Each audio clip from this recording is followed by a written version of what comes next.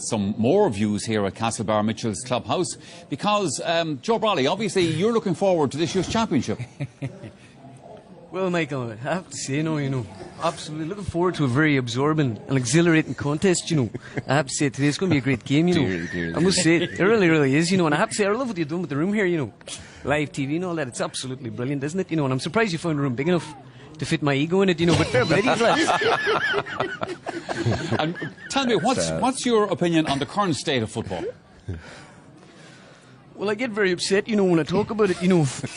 You know, I don't like telling stories, but I'll tell one anyway, right? You know, you know, up, in, up around up in Belfast, right? Have this five-year-old from down the road from me, right? You know, five years of age. I seen him in the back garden a couple of months ago. Great little footballer, you know, both feet, you know, left and right. I said, this fella's the next Gooch, you know. I says, so I told him, I said, start him up with Brigid's our club, you know. So he's on the on the rates panel, you know, and I'm after finding out, right? The underrates are going seven nights a week training, right? Seven nights a week, right? This fella, he's in the gym four nights a week. He's walking around, he's like Damien Comer, so he is. He's only five now, you know. I went into the gym, I seen him in the gym, I says, Tomas. That's, his name is Tomas, named after the great Tomas Ó Sé. you know, and I said to him, I says, Tomas, what do you do? He says, you'll play with us now. He says, oh, I do. He says, and I says, what position are you playing? Corner forward. And he looked up at me, you know, with these big blue eyes and this, you know, face of innocence and adventure, and he says, um, he said he was the sweeper, you know. I says, hold on a second, hold on a second. What do you mean you're the sweeper, you know? And he looked up at me again, his eyes narrowed, and he says to me, he says, Oh, Joe, he says, I love nothing more than to ruin a good game, so I do, you know. I tell you, you can totally forget about him as far as he's a man. You know, I know he's only five, but I had to be held back, so I did. And that's a true story, I wouldn't exaggerate.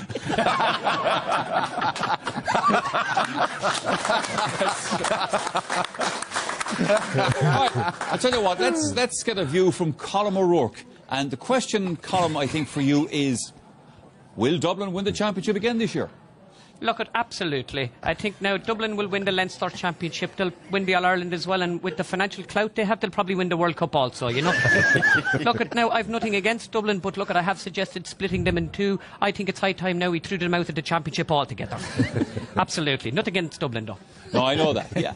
Um, now, next up, let's turn to hurling, why don't we? Because uh, we have Davy Fitzgerald. So, Davy, um, who do you think is going to win our first live match here in the Sunday game? Who's going to win this one?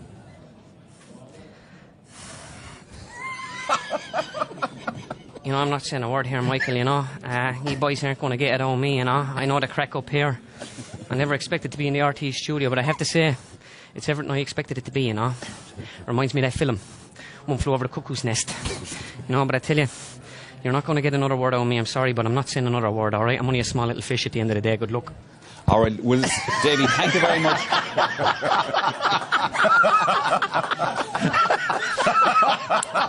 Davy, uh, thank you very much for the contribution that you did make uh, to us so far. But I'll tell you what, we're going to get a few more views on hurling as well because uh, we have Ger Loughnane with us as well. And I suppose we're going to ask Ger, what can you expect, Ger, from this year's championship? Well, just, if I knew it was a studio audience now, a live studio, I would have I would have bought myself a new head for this. Eh? but I have to say, I tell you what you can expect. Pure constable hurling, right? I have to say, the last couple of years, no physical stuff, no mental stuff, right? The standard of hurling is so bad, even Galway managed to win the All Ireland last year. and no offence, Michael, but they're absolutely gutless. Now, I'll say this.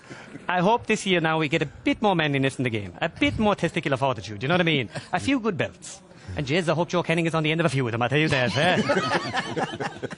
No, you know, you can't be saying that about fellas like Kenny, you know, fairness, you can't. Well, that, see, that's see, that's the problem with today's generation. The whole lot. Yeah, it's too PC. You can't say this. You can't say that. But I tell you this, Michael. That's all going to change very soon, right?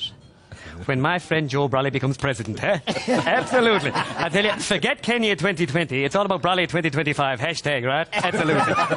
That's right. Eh? All right, listen, um, thank you for that. And also a big thank you, ladies and gentlemen, to Conor Moore. Thanks, Conor. Well done, sir. Excellent stuff. Fair play. Fair play.